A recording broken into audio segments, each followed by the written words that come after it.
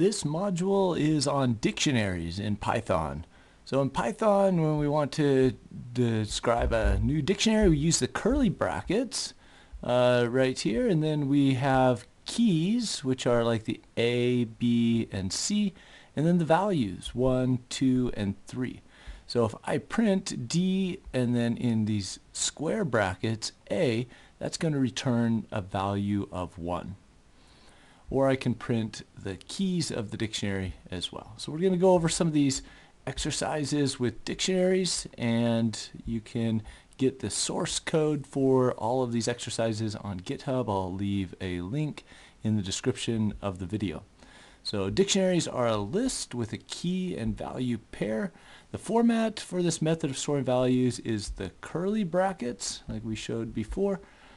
And as you assign a dictionary a name, you can enter values by putting a value followed by a colon to indicate the corresponding value. And multiple corresponding values in a dictionary are separated by commas, and you can also print the corresponding value of the key using brackets. So we're going to just describe, uh, make an empty dictionary, and then we'll print that dictionary, and then we'll create a new dictionary as well.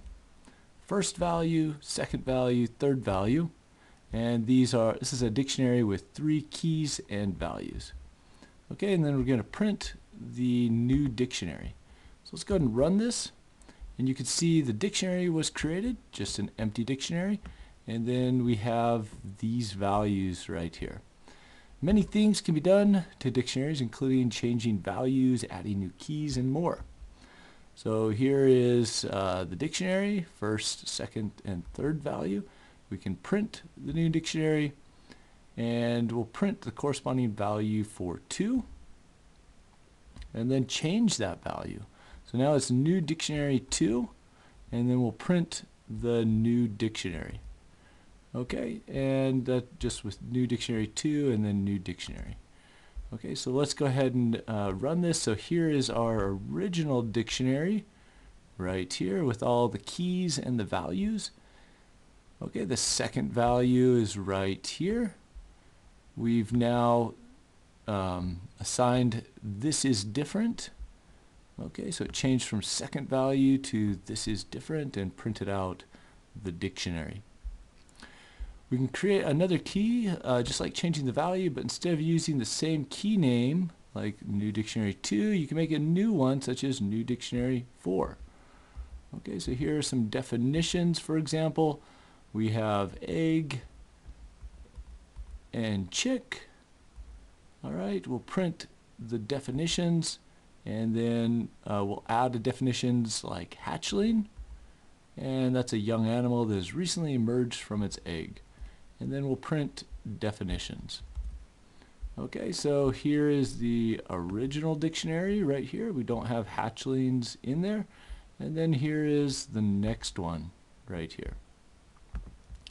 Alright, so if we wanted to uh, modify this further, or we could just print, let's get the, let's see, let's print uh, definitions, and we'll do egg, for example. Okay, and then it's just going to print that definition right there. If we just want, instead of all of these print statements here, we just want the keys, the things that we can access. We can print uh, definitions dot keys, and that's going to print uh, egg, chick, and hatchling. Alright, so for our incubator project, we might use a dictionary to be able to store key value pairs, but let's just go ahead and do uh, create a dictionary of animals that lay eggs and uh, not at least three eggs, but at least three animals with a description of them as the value. And we'll make a while loop with an input to ask that for the description of an animal, and the while loop should stop if equal to none. Make sure the loop prints the description of the animal entered. Alright, so let's go ahead and do animals. I'll go ahead and do an alligator. Okay, and then separated by a colon. Uh, something that bites you, okay? something, uh, I'll just say a reptile, uh, reptile that uh, is dangerous. Okay, All right, separated by a comma. If you want to continue on to the next line, okay, you can uh, use the backslash, and then let's do frog. And these are terrible definitions, but I'm just going to do it for demonstration purpose only. Okay, so frog is going to uh, be uh, eggs, uh, lays eggs, and that turn into tadpoles. Alright, and then the final one, uh, let's go ahead and do a uh, hummingbird. Okay, flaps, uh, wings very fast. Alright, okay, so here's our dictionary. Um, let's see, oh I forgot the colon right here. Okay, there's our dictionary, and then in a while loop, we're going to ask the input for the description of an animal and uh, so let's do while name is not equal to none and we're going to do this uh, this loop. And uh, let's go ahead and do name equals and I'll just do empty like this just so it enters the loop. And we'll ask for some additional input. Animal name. And then we will print animals and then in here we're going to do the name. So we're going to print uh, not the definition but just something about the animal. Alright and let's go ahead and run this. And I'll do let's see how about frog? Okay, and then we have something uh, like alligator. Alright, and then if I do none, uh, not equals none. Let's see. Um, hmm, key error is, can't find none, so it's putting none in there. Uh, it should have oh, you know what, I should have put these uh, in the opposite order or broken out of this when uh, it equals none. So let's go ahead and do that. I'll just say while true, so loop forever. And then if name equals none, then we're going to break out of this loop. Okay, so if we do frog, okay, and then none.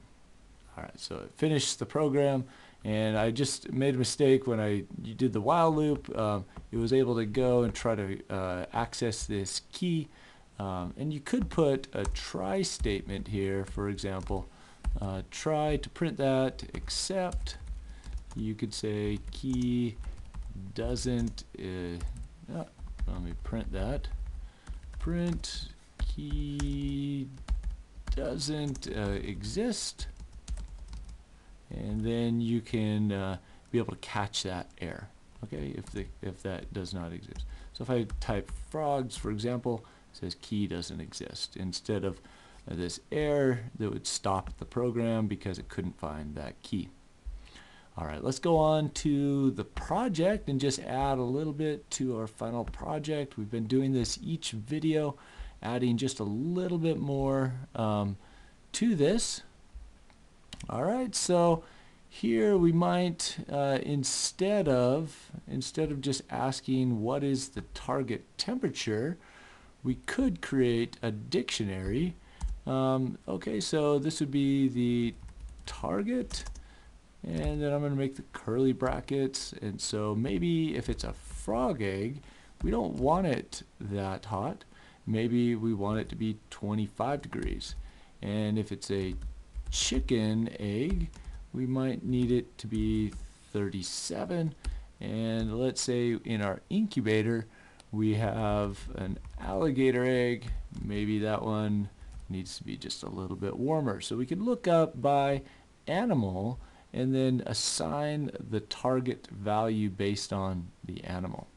Okay, so um, let's go ahead and ask for the animal. And uh, what is the type of egg? All right, maybe we could uh, print out all of the keys. Uh, print target dot keys just so they can see what are the options for this. And then instead of asking for the target temperature um, we could say that uh, the target temperature is now uh, target and then in here it's going to be animal. Alright and then we'll print uh, the target temperature is alright let's do a formatted string right here with TSP alright I'll run this and it's going to connect to the TCLab. What's the type of egg?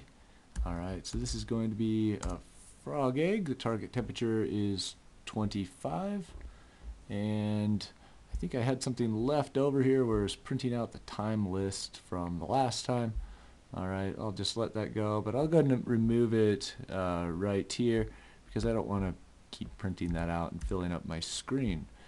Alright, um, so there I had it. Uh, we looked up by the type of animal, the temperature set point that we needed, and then we're using 25 now as our target temperature for the egg incubator. Okay, so there it is. It made it up to 23.48 uh, in the end, but we're going to run this in the end for a 10 minute run uh, and then be able to see how well our program is doing.